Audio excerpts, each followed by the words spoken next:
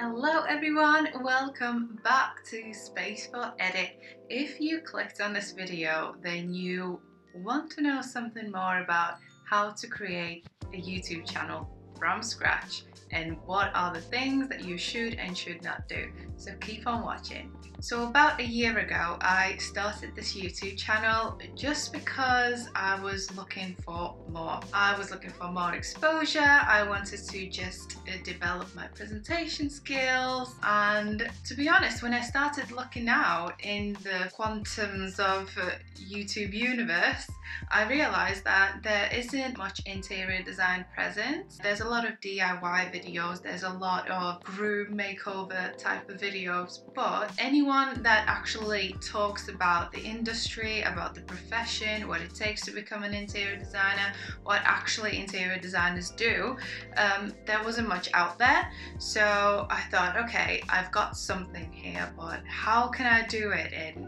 should I do it and what's it going to be like what are people going to say there was just like loads of things going through my head but I knew that as soon as I took the pen and paper and I started writing out things, um, maybe like topics that I could make videos about, it was just coming out of me. Like I couldn't go to bed at night because I was just getting more, and more and more ideas about videos, what I should make. So I knew I had a good idea, I knew I had a good thing going and I had to start somewhere.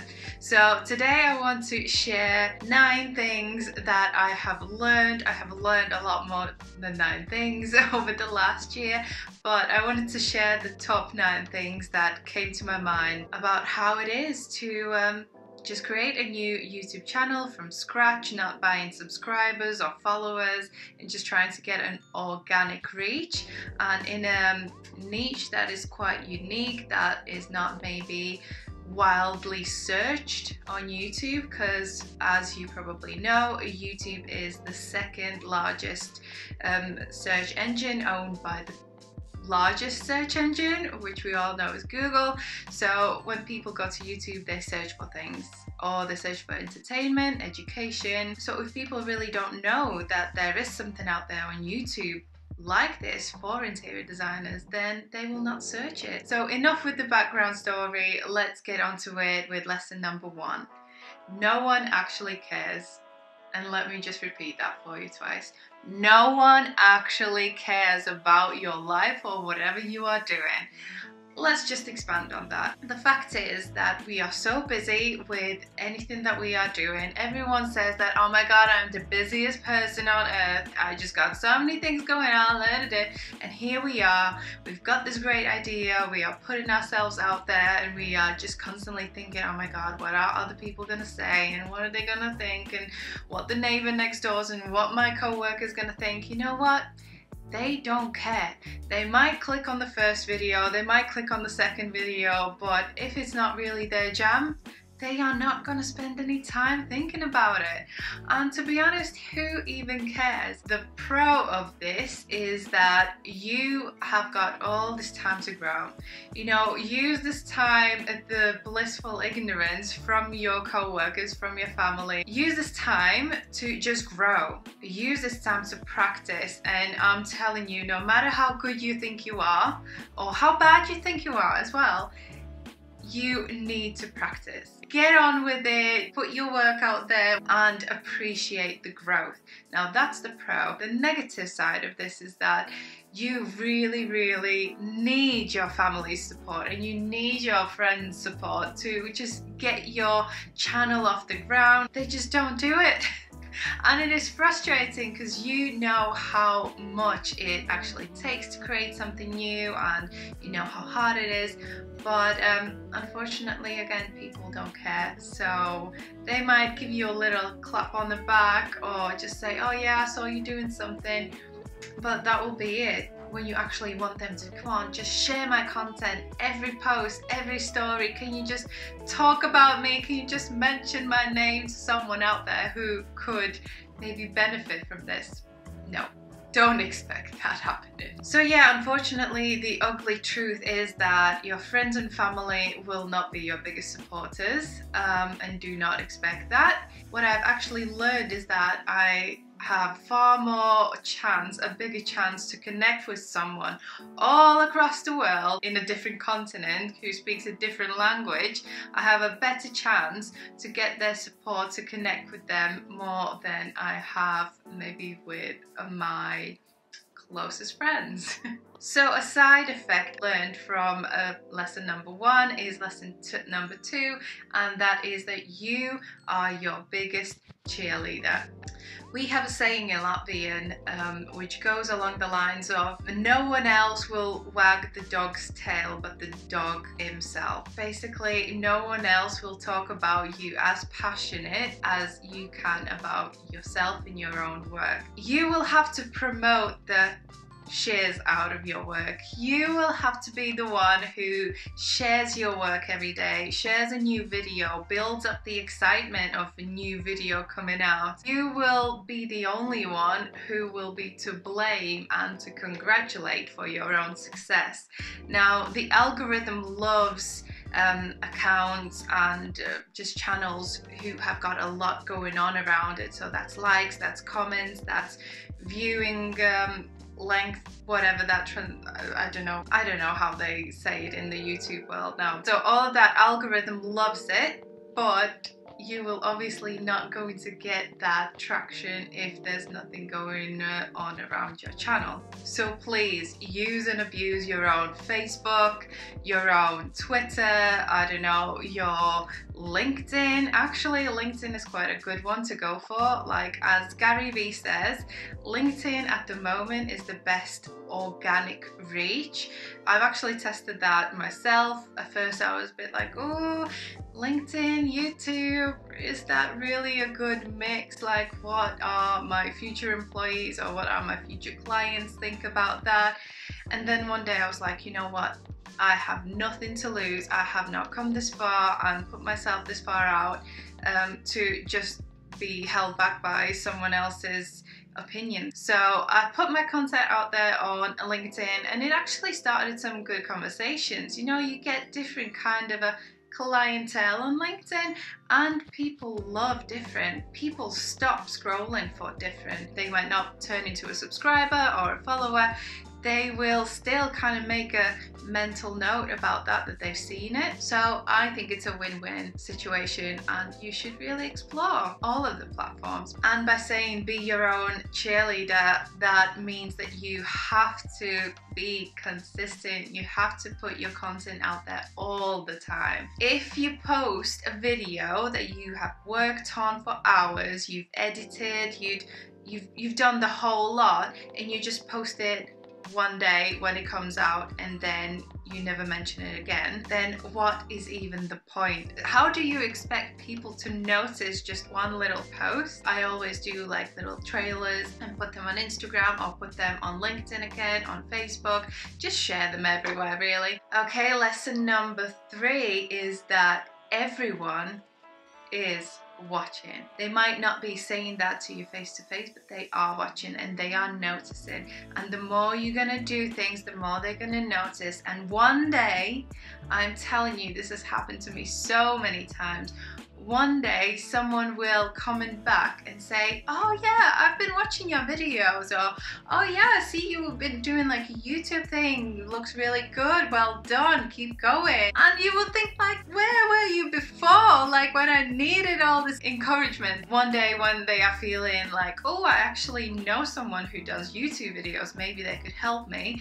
Um, and they will come back to you. So no content is wasted content Lesson number four is that you should focus on giving, giving, giving, giving, and not receiving anything back. If you are in it for the money or if you are in it for the fame and the recognition, then that is quite a toxic place to start from, in my opinion, because it should be all about just sharing what you are really passionate about. Like, I am passionate about interior design, but I am really passionate about showing people what it actually takes to become an interior designer. And I'm not focusing on the fact that some of my videos might still be sitting on 70 views when I spent a whole week filming it. It's not about that, it's just about sharing this experience, hoping that with someone it will will resonate and and that will be enough. So yeah, lesson learned, just don't feel like someone owes you something. It's not about that. It's about you. No, it's about you, not me. It's about you just giving your best out there to the world and just seeing what the universe will bring back to you. Okay, let's move on to more practical tips. So lesson number five is batch scripting and batch filming. So doing more in one go or more in one day. So if that's script writing, then write at least two, three scripts a day. If that's filming videos, try to film more videos in one day. Now, I have got to admit that I have not done more than two videos in one day and I think more than two scripts in one day. But when I did it, I felt like I was winning in life. I will be honest with you, it is hard to have a full-time job and a passion and have YouTube on the side because YouTube YouTube takes up a lot of time. It is not quick. It is sometimes easy, but most of the times it is not easy to get the whole set up and you know get the energy going because you don't really want to sound plain and boring on the video so you need to get the energy levels up. So it's easier when you are on the same energy level and you can film at least few videos. So that way you already have a stack of videos and you just need to go through the editing process. So eventually when you get better, you can just film a whole month's worth of content in one day. Wouldn't that be awesome? Okay, so lesson number six can be applied to your YouTube as well as your Instagram and probably Facebook and LinkedIn. So that is to study and follow similar accounts. The audience and the following that your competitors have is basically the audience that you want for yourself. So going through the comment section of someone else's videos or Instagram posts is a great way to connect with like-minded people. So the way I've done it in past is, let's say I've gone on to Karen Bond's um, post or House of Bond post and just went through the comment section there. I see what people are asking for. Maybe there are some questions that um, Karen's team haven't yet replied and they are like a few weeks old. So yes, learning from people who are way ahead of you and have already done all of this in advance is probably one of the quickest way of growing. The next tip again is more of a Instagram tip, I think, but you can definitely apply that to your YouTube growth as well.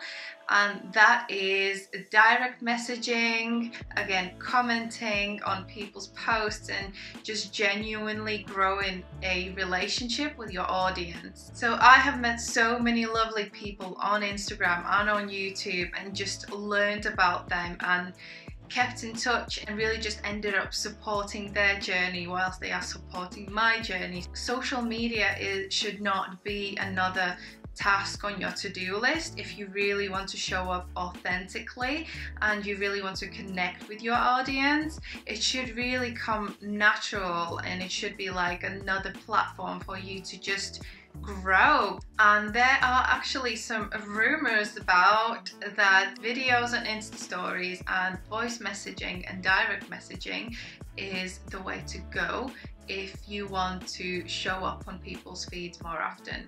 So there you go, there's another trick.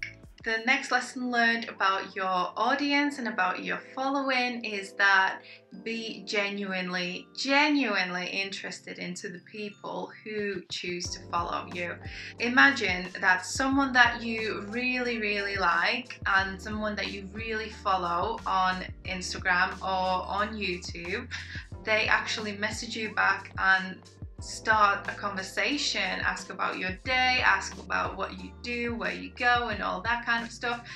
You just, you would be like, oh my god, this person actually cares. First of all, there's an actual person behind this account, there is not a social media manager behind this account.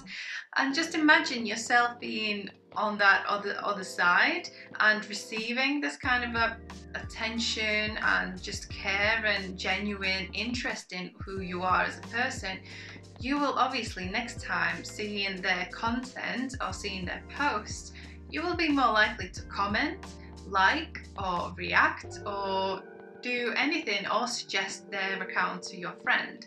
So um, be genuinely interested. Again, don't have it just as another tick box exercise.